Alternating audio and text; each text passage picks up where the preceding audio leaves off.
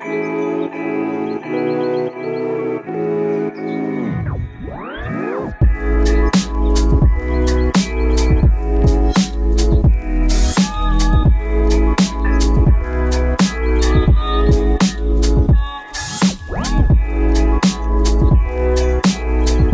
Really easy actually. They came out, Andrew did a house visit to start with, had a look at what we were going to do, look, looked at the whole project and then went off and put some designs together. Once the designs were done, we then went over to the studio, had a look at what he was suggesting.